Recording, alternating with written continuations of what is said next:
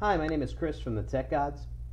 Today we'll be replacing uh, the LCD screen on an Acer Chromebook model C7. Specifically, this is a C710 2847. C710 2847. Uh, all of these should be similar, the uh, C7 models. Basically, you can see that we have a uh, pretty well cracked LCD screen here. Uh, it actually looks a lot worse in person than it does on the screen there, but you can see we have lots of different blobs on the screen that uh, this thing is pretty well shot. So what, we, what we'll do is we'll turn this thing off first. That's the first step. A lot of these videos run in uh, fast, fast motion where they uh, do the, the screwing in and out really fast. We don't actually need to do that because this one's a pretty quick video. So we'll turn it off. We'll take the uh, power out. We don't want any power running through there while we take it apart. We also want to remove the battery.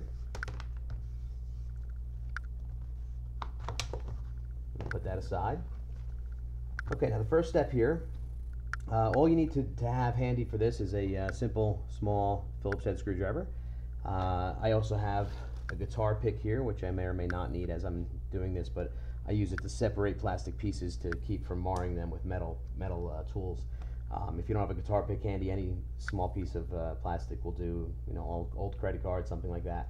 Uh, sometimes even your fingernail. I think this one actually will come off with my fingernail. Uh, so basically you just take your fingernail and you slide it across the top of this screen or you can take your guitar pick and you can slide it in between the bezel and the back of the cover.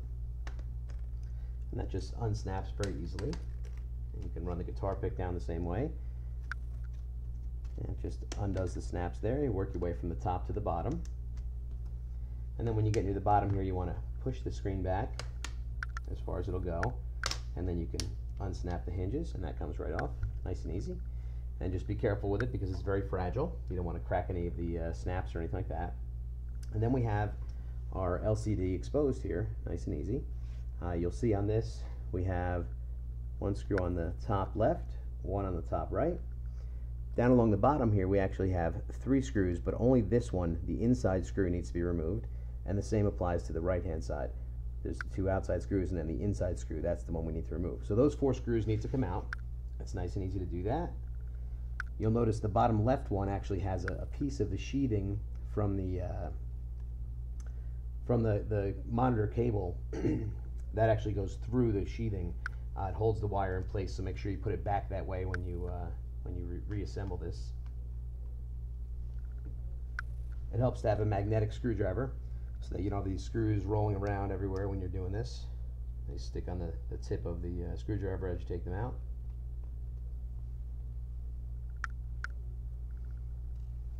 And then that bottom left one, again, it goes through that sheathing.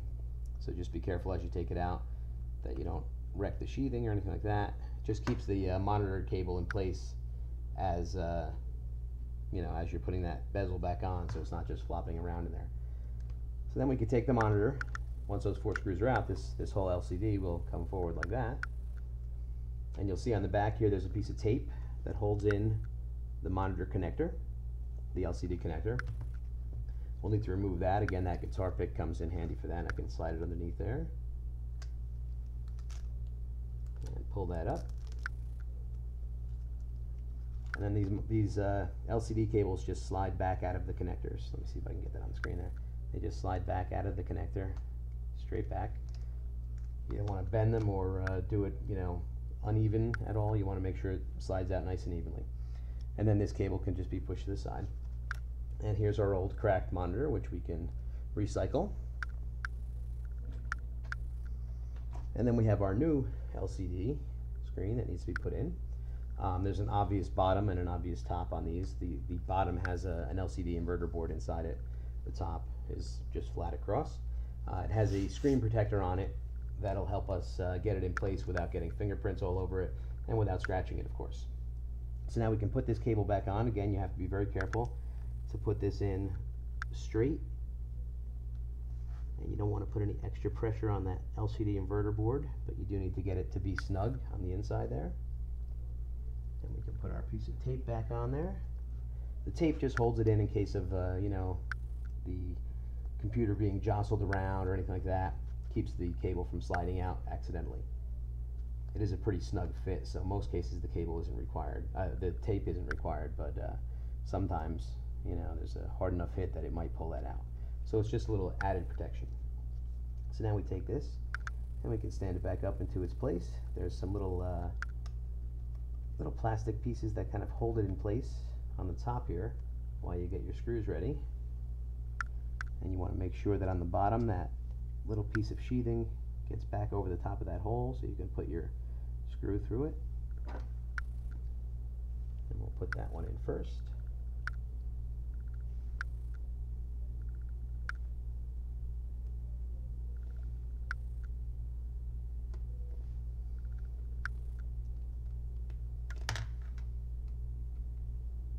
All right.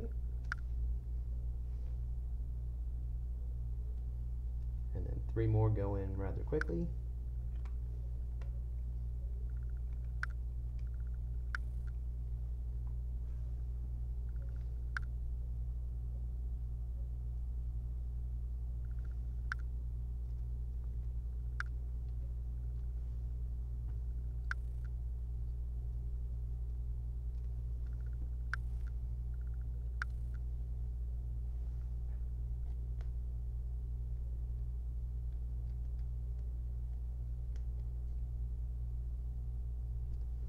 Okay, and we can remove our protective shield over the top of this.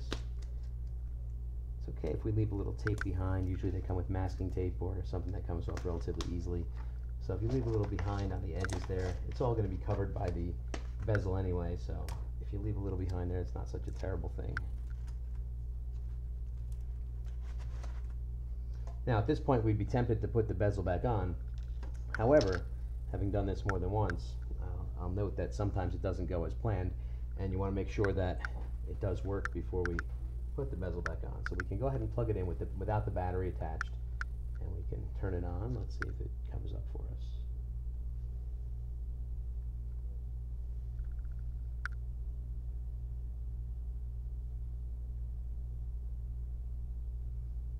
Okay, we have backlight and then we have the chrome welcome screen coming up.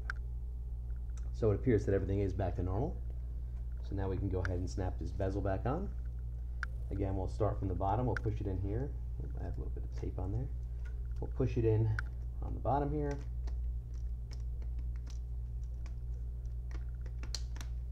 And you want to make sure you support the monitor as you snap the bottom across because they are rather fragile and you don't want to push against that because it could snap this new new LCD that we just installed and we'd have to go through all this again and the expense of buying another one. So we just work our way around, make sure all the snaps are snapped. We can double check all the edges and make sure that everything is flush. And it looks like the hinges still need a little persuasion, so yeah, we'll just grab them from the other side and snap them into place. So there you have it. Uh, the LCD replacement on an Acer Chromebook C7, uh, specifically model C710. And uh, again, my name is Chris from the Tech Gods, uh, and I was happy to uh, do this video for you. Thank you.